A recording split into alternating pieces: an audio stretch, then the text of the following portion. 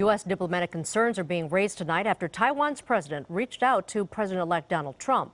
Their phone conversation could risk angering China. KCAL 9 political reporter Dave Bryan joins us now with more on why a simple phone call is drawing mm. so hmm. much reaction tonight, Dave. You know, almost anything Donald Trump does these days, people are wondering, well, what does it mean? What's going to happen now? Right on cue, within the hour, we got the first reaction from China to the Trump Taiwan phone call. The Chinese foreign minister says he hopes his country's relations with the U.S. won't be interfered with or damaged by the call, since he says the one China policy is the cornerstone of U.S. China relations. When the first woman president of Taiwan called President elect Donald Trump on Friday, and he took the call, the U.S. diplomatic world was rocked. It was the first known contact between an American president or president elect with a Taiwanese leader since the U.S. broke diplomatic relations with Taiwan. That was in 1979.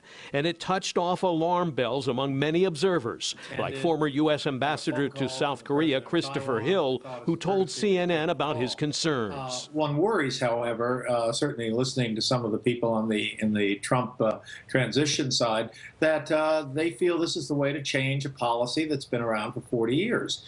And you know, Ronald Reagan adhered to this policy, George W. Bush adhered to it, everyone adhered to it. On Friday evening, President-elect Trump tweeted out about the phone call. The president of Taiwan called me today to wish me congratulations, he wrote, on winning the presidency. Thank you. Trump's transition team said the discussion focused on the close economic, political, and security ties between Taiwan and the United States. But the question is, how will China react to the phone call? The Chinese leadership will see it as an important break. And for their own domestic political consumption, they are going to want to send a strong and unmistakable message that this is unacceptable. Professor Clayton Dube is the director of the USC U.S. China Institute. He says the stakes are very high for any change in that relationship. The U.S. China relationship is, without question, America's most important bilateral relationship. We do an enormous amount of business with China. We are dealing with China in addition on key third party issues such as nuclear weapons proliferation. And that's why the attention we are giving to a 10 minute phone call between the president elect and the president of Taiwan is warranted.